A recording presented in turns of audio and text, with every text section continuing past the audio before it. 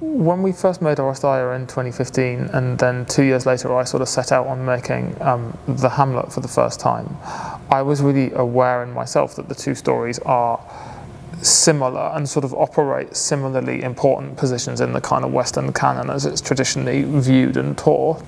Both are plays about parents and children, about vengeance, about one violent action leading to another. Both plays have questions of madness and sanity, um, and both plays kind of relate all of that back through family. Like Hamlet fundamentally is a tragedy of two families, and the Oresteia is the tragedy of one family.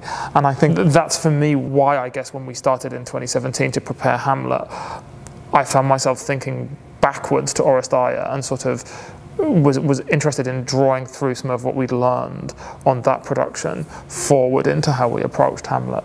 So it was sort of a self-consciousness then about the similarity of the two stories that means that then when uh, Pierre Audi suggested here that we mount them together, that felt like a very natural double bill. There's so many parallels between these shows and that's why Rob did them, that's why the Armoury wanted to do them together and also in the way that Rob's directed them there's so many parallels but it's really beautiful getting to watch them because there's so many visual parallels as well. You've got the family together you've got this both shows kind of end on this family portrait um, and how we grieve how we process grief how we communicate to each other how we um, respond to each other and absorb each other's uh, choices and the consequences of those, they are so present in both of these plays.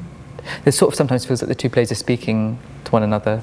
Questions about family and about justice and about loss and about living with other people.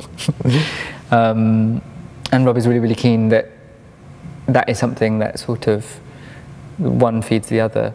And when we were rehearsing in London, um, it was quite bitty. It, we did like maybe one week on one show and one week on the other. Sometimes we were doing some in the morning and some in the afternoon.